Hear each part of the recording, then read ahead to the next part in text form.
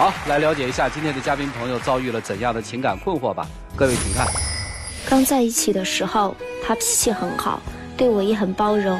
但结婚以后，他对我的关心和体贴也越来越少了，而且经常出去打牌，还总是骗我，脾气也变得很大，经常因为一些小事儿就和我冷战，或者是和我大吵。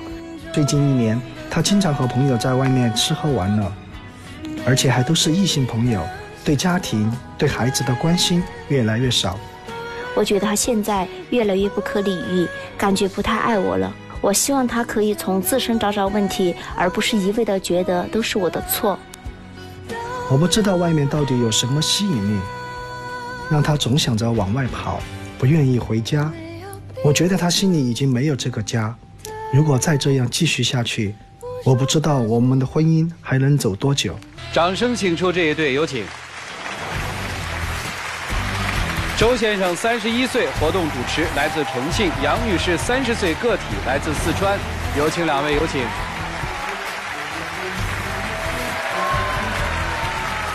欢迎两位啊！结婚多少年啊？四年了。孩子多大呀？呃，两岁。男孩女孩啊？男孩。你觉得他不顾家，对吧？因为他经常出外面的时间比我的多。有一次吧，是这样的，嗯，快到吃晚饭的时间了。然后我就打电话问他，我说今晚上回来吃饭不？他说行，我今晚上回来吃。然后我叫爸妈把饭做好，然后我们一家人等他回来嘛。但是他一回到家，他就跟我们说我出去吃。当时我跟我爸妈就这样。愣了一下，当时我本本来打算回家吃饭的，然后走到楼下的时候，朋友给我打电话，他说你快出来，我找你有点事儿。我跟爸妈说，我说爸妈，今天我不在家里吃饭，然后我就回房间换了衣服就走了。这算偶发事件还是常发事件？几次吧，不算特别多，就最近一年几次，因为最近一年啊。还有什么呀？嗯，他经常跟朋友在外面吃饭，比如说十点多钟的时候，我就给他打电话，他就说，啊，我等会儿就回来了，等会儿就回来了，老是这样，等会儿等会儿，结果我等到十二点半了，他才回来。他们都没有走，我怎么好走？而且在哪里你也知道，那你为什么你不来接我？回到家的时候，他就开始发脾气。没过几天之后，他又跟一些异性朋友还发朋友圈，酒吧里面，就让我觉得。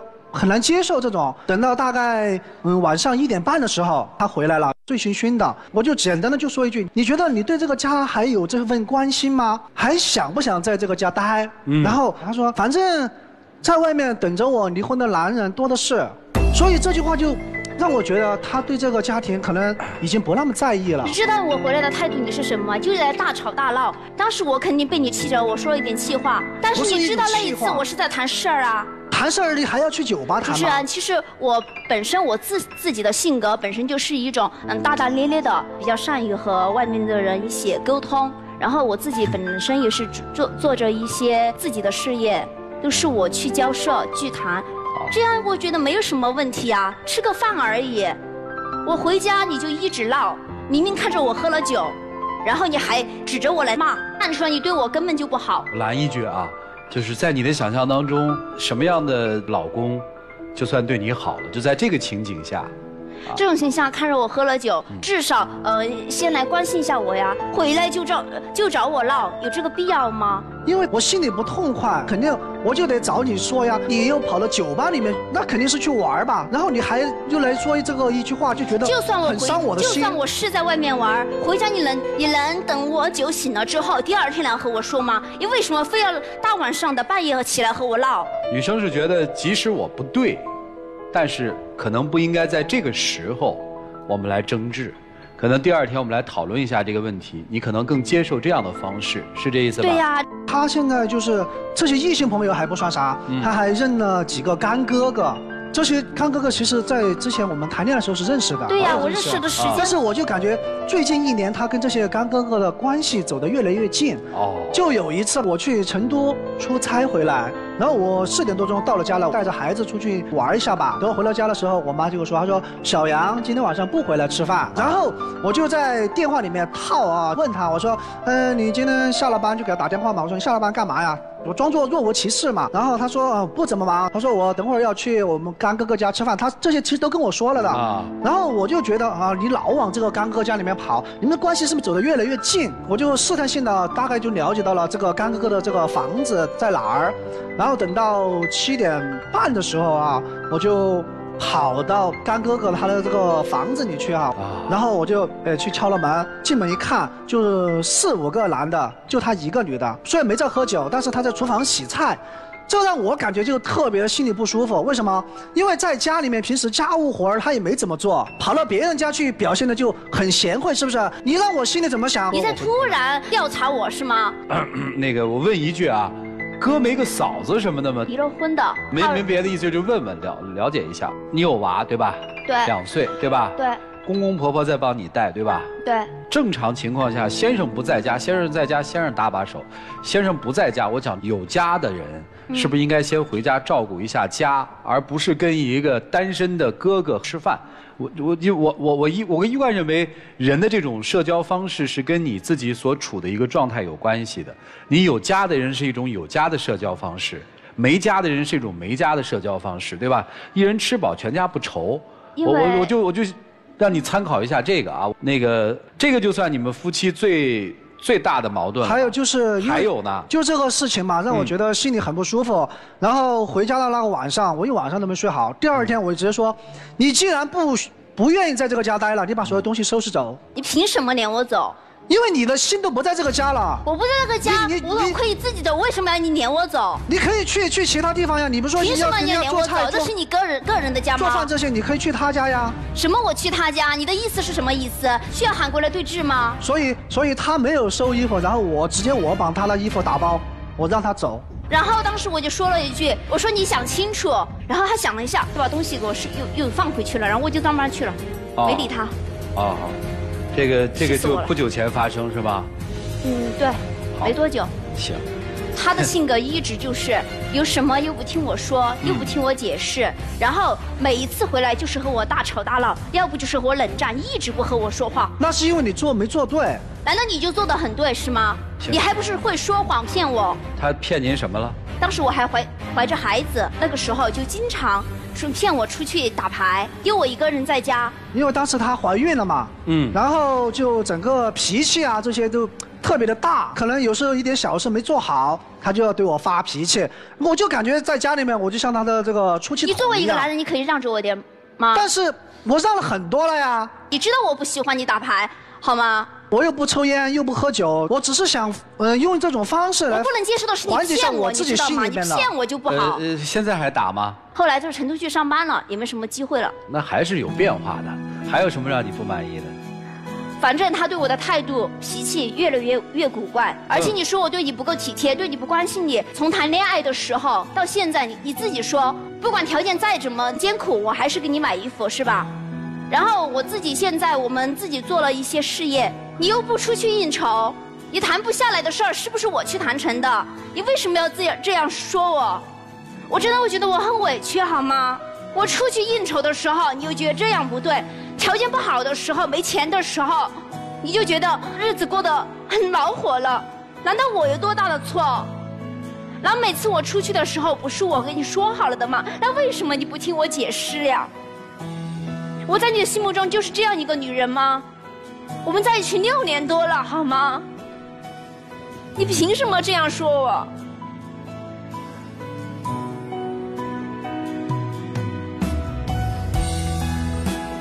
主持人，我觉得我没有多大的错，我是就算我有错，我都觉得他应该和我沟通，因为之前和他在一起的时候，我就觉得我自己有男朋友了，我就应该把我的圈子断了，然后我身边的朋友，呃，几乎我就没怎么联系了。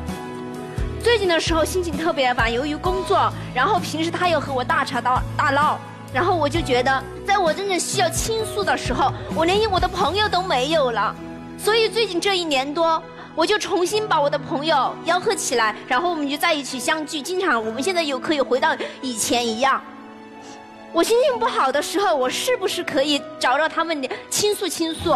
但是也不完全就是和他们一起玩儿、一起聚会呀、我有谈正事的时候啊，你知道我的性格，你认识我的时候你就知道我的性格是这样的，对吧？那为什么你之前能接受，现在却不能接受我的性格呢？先平静一下啊，问几个问题，好吧？好，你们现在是夫妻两个人在做生意是吗？啊，本身我自己就有工作的，然后为了家庭条件好一点嘛，然后我就会去做做活动啊，然后去跳跳舞啊之类的，然后挣点外快，然后自己现在干了一个。做什么呀？我就是接一些这个婚礼主持。啊，婚礼主持啊，你们没有开婚庆公司是吧？没有没有，因为就是你的活是他接吗，还是怎么？嗯，有时候他接，因为我接的时候都是一些婚庆公司派单。你们俩谁的收入高一些啊？他的收入。你们家一般事儿谁说了算啊？都他呗。啊，怕老婆没什么，干嘛那么委屈？不是，我还是有听他的时候。啊，行，刚才先生强调了一个近一年来，是吧？对。呃，孩子等于你带到一岁是吧？还不到一岁，我就该回去上班了。近一年是因为我干了一个小的美容店，哦，相当于现在我又在上班，又在嗯兼职跳舞做活动，然后现在又干了个美容店，是所以你心里挺委屈的，对吧？就是在现实情况下，我听起来你们家应该是一个女主外男主内的一个分工，是这样吗？对，因为他谈业务这些哈，相对于能力比我好很多。嗯，他在家里面各各个方面都表现的比较强势。他老是就是压着我的那种，怕他跑吗？有一点儿。但是我没有这这样想过。今天是谁说要来这儿的呀？我我来这儿干嘛呢？就是想让他。改变一下吧，把这些嗯心呐都放在咱们家里面，跟异性保持一定的这个距离。所以你心里是委屈的是吧？有点你跟他们在一起开心吗？和他们在一起的时候开心，但是回家就不开心了。他如果不找你闹的话，其实还是挺开心的，是吧？他不找我了，还可以。这一年他的变化是有的，是吧？他不像以前，按你的描述，没那么爱打麻将了，对吧？对。他除了气你，他也不出去玩，是吧？还可以吧。他表现的不好是吧？对啊。行了，老师们看看啊，一起进入丘比特问卷。杨女士，为什么你老公一直阴阳怪气？你知道吗？他是因为吃醋吗？这不是本质，本质是什么？本质是你老公无能为力，他不知道拿你怎么办。这个时候，他所有的表达方式就是：我要跟你闹，我就阴阳怪气，我就冷暴力。那个周先生，你太太咄咄逼人对吧？咄咄逼人的本质是什么？你知道吗？他有内疚感，内疚感引发起了他个人的心理防御，以至于你在跟他说任何话的时候，他都咄咄逼人给你怼回去。其实我只要说四个字，你们注意这四个字，你就知道这里面的问题在什么地方。这四个字叫情感需求。你听到他刚才表述里面有一段很重要的，他说以前我把社会关系都掐断了，但是我很苦闷，是吧？是。那段时间苦闷那段时间你在哪里？你有聆听他吗？他他确实是有曾经有过和异性不接触的时候，他给了你这样的机会，你抓住这样的机会了吗？你关注到他的情感需求了吗？你没有关注到他情感需求。不要拿着你有小孩了，你必须要回家来怎么怎么地这种话来说事儿，它是两回事儿，不是说他不能把把情感依托放在孩子身上，但毕竟两岁的孩子是听不懂妈妈说什么的，所以这件事情在于你们之间要互相聆听，千万不要忽略了对方的情感需求。人是情感的动物，不要做没有感情的吵架机器，要做有感情的夫妻。就这样，好，谢谢陆琪老师，山达老师。陆老师刚才基本上就是，其实是在为女方开脱。嗯，我有同意的地方，也有特别不同意的地方。首先，我觉得第一点，杨女士，你需要的是一个对你好的人。所以，对你好的这个男人，是他。或者是张先生、李先生，这个哥哥、那个哥哥都无所谓。你嫁给他，不是基于你爱他，是基于你当时对我好。那这种好，我现在感受不到了，我就要出去去寻找别的好。因为我在跟别的干哥哥在一起的时候，会使我心情愉悦，会让我变得开心。所以我觉得他们对我好。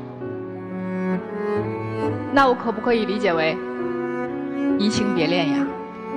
不能说因为我挣钱多，我现在在家里待的不开心了，我就出去去找开心。我觉得这是对他的不公平。那他又做错了什么呢？你说结婚之前他就知道你是一个大大咧咧的人，OK？那结婚之前你也应该知道他是一个有没有能力的男人呀。你既然愿意嫁给他，你就应该了解到他就是这样一个男人。好，说第三点，我觉得性格开朗不等于轻浮随便。你一直在说我们没有任何的事儿，没有发生任何的实质性的关系。但你跟你那些干哥哥心里面是什么样的感受，只有你们两个人清楚。只不过没有什么实质性的事情，但这并不代表忠诚。我们就经常讨论精神上的出轨和身体上的出轨哪个能够更能够轻易接受一些，但哪个都不可以轻易接受，因为这都会成为一个结。暧昧也包含在精神上的出轨之内，所以你的心有没有走？你的心在不在这个家？另一半是非常清楚的，这就是我刚才说的感受很重要，而不是拿事实说话。你觉得没有发生任何的事儿，可是你的态度和你一而再再而三对家庭这样的态度，让对方心里不舒服了。这和真正发生不发生什么事儿没有多大的关系。在最后一点，我觉得你是一个妈妈，尤其你又有一个儿子，我觉得。孩子以后成为什么样的人，妈妈就首先要成为那样的人。所以你要给孩子树立一个什么样的榜样，这点很重要。让他从小到大看到的最初的母亲的那个形象，会是他未来对爱情、对女人的一种最初的印象。所以我希望爱自己，也尊重他，好吗？谢谢。好，谢谢沙娜老师。问一下小周啊，当时出去搞业务，是你同意的吗？觉得他本身这个干哥哥就给我的感觉就是对他就怎么怎么怎就这种。我们先不扯干哥哥，你就说当时是你觉得自己谈不下来，所以业务基本上我是谈不下来。他谈的好，对不对？对。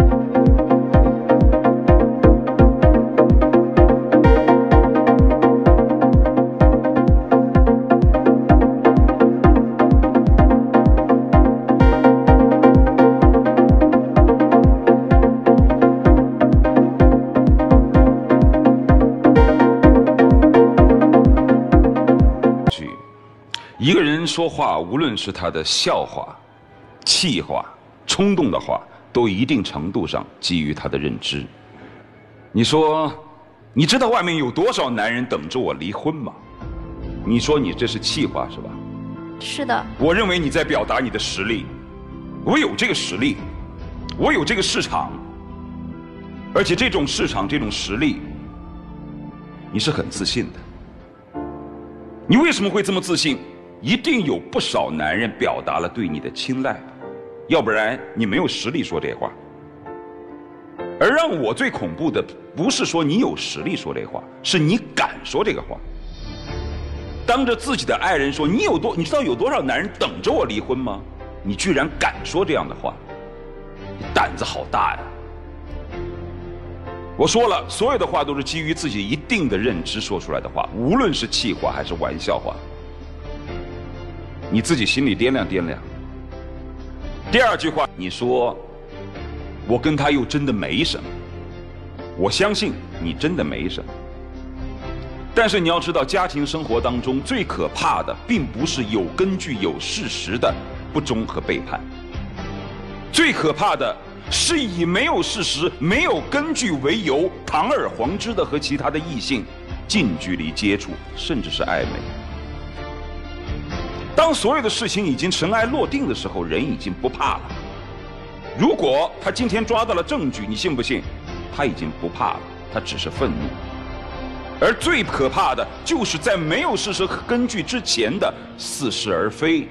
是让人最可怕的，就像那个炮仗爆了，其实并不可怕，怕的是烧引线的时候。所以，当一个人堂而皇之的、自信满满的说“我跟他们之间又没什么”，然后以这样的名义跟异性保持近距离接触的时候，是这个人防线最弱的时候，因为他没有认知到。这种危险性，人最难控制的，就是诱惑和欲望。所以，自动自觉的作为一个有家室的人，保持跟其他异性之间的距离，不仅是自尊自爱，也是保护自己。你真觉得你跟他们经常待在一起，不会有心猿意马的时候吗？你自己心里清楚。还有一点，我想告诉你，你有很多社交。是为了多接单子，提高家庭的生活质量，对不对？我也承认。但是有没有那些不是为了家庭生活，不是为了接单而在一起的异性社交呢？这一部分又占百分之多少呢？你心里也有数。我告诉一句你男人的心里话，你别看有些男人。特别喜欢和其他的女生在一起，厮混也好，吃饭也好，喝酒也好，其实没什么。但其实男人内心真正尊重你、愿意在事业上、工作上合作的异性，其实恰恰是那些对家庭有责任感的女性，而不是和他们一天到晚厮混在一起的那些所谓的红颜知己。我们每个人都愿意在生活当中跟那些有家庭责任感的女性进行合作，顾家的女人进行合作，因为这样的女人自尊自爱，而且工作起来特别有效率。反倒是那些表面上跟男人经常在一起社交的女人，其实往往不被男人所尊重。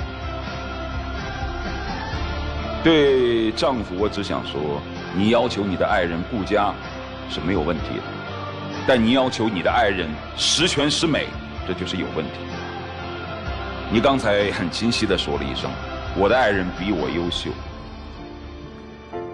一个人优秀的人就会有他的问题。你又要马儿跑，又要马儿不吃草，又要他能挣钱，又要他能够像贤良淑女一样在家里顾家。那我想请问，你有多完美？你自己都不完美，你有什么权利苛求别人完美？如果你希望，他又顾家又能挣钱，那你就要多付出。首先得要聆听。你自己一方面都做不到，既不能主内也不能主外，你有什么资格去要求别人？如果你承认他优秀，又希望他顾家，你就要替他去分担。就要有包容之心，当然底线原则不能突破，不能击穿，你明白吗？明白。就这样。好，谢谢涂老师。我特别想问一下妻子，你刚才说了一个特别希望自己的先生是一个能拿得出手的、上得了台面的，对吧？是，他是吗？他他显然不是。你现在需要问你内心的就是，我心里还有没有这个家，还有没有这个男人？这个男人是不是我想要的，或者有没有可能变成我想要的？如果不可以，你可以走。接下来一个问题，其实您思考一下，就是你有把妻子当女人吗？而且在这个婚姻当中有一个特别要命的，父母对婚姻的干预太多了。你们俩真有闲工夫，你知道吗？如果父母不帮着你们带那个两岁的儿子的话，你们俩谁都没那闲工夫。你该忙什么还得忙什么，这就是父母对婚姻的干预。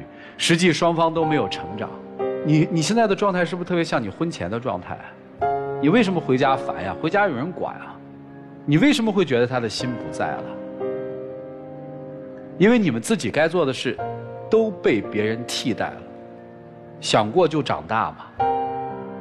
女生，如果你的先生就是这样的，十几年的好多妹妹，经常跟他们在外面喝的醉醉的回来了，偶尔他到干妹妹家给干妹妹做点鱼吃，在你们家他做甩手掌柜，你说这个男人你怎么判断？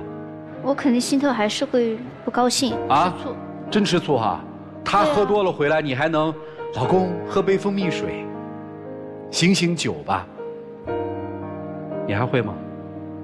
所以我们把所有的情况，如果向另外一个极限去推的时候，你们就会发现，陆琪老师刚才说了一段话，学会倾听和沟通，好好想想老师们的话，时间留给你们，真情。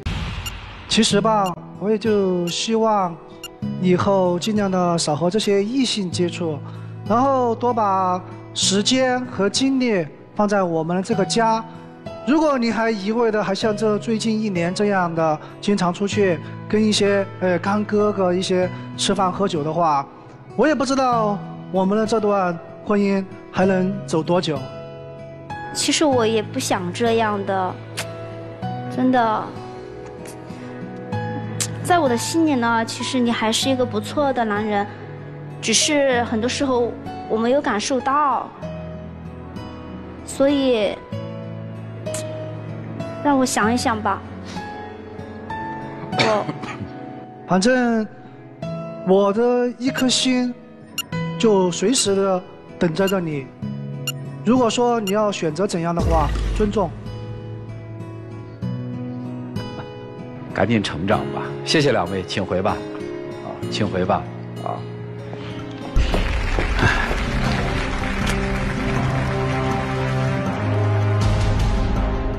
来，请关门，来看看这一对他们自己的选择是怎样，请开门。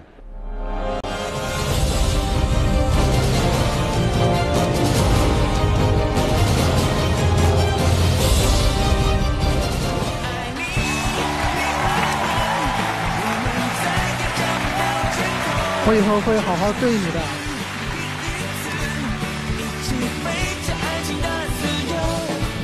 来，有请我们的小花童，有请。